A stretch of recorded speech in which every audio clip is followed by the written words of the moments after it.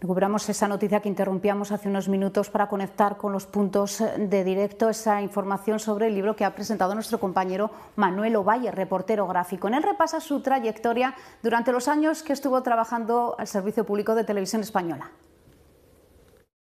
Estas cámaras tienen eh, también tienen muchísimas historias, ¿eh? no solamente los que estamos detrás de ella.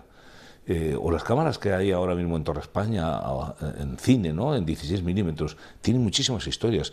Manuel Ovalle ha estado 47 años con una cámara al hombro. Ahora, ya jubilado, revive en un libro los acontecimientos más relevantes de la historia de España y del mundo que vivió en primera persona, detrás del visor.